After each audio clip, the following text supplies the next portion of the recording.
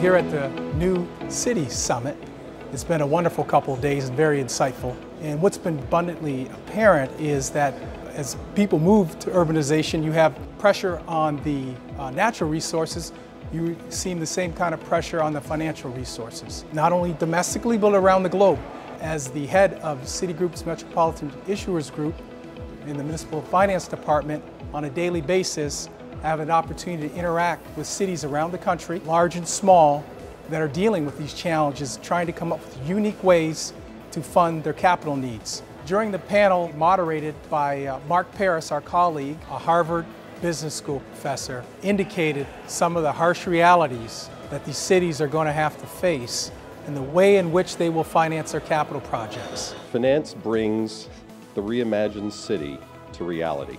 Just as there are many innovations to new sustainable cities, there are almost as many financial models. How do you frame this complicated landscape? There's only three ways to pay for urban projects taxes, tariffs, and transfers. That's it. For the most part, no city in the world is going to be able to just write a check to do whatever thoughtful thing we assembled 600 think is the proper thing to do going forward. All these kind of investments are, take a very long view.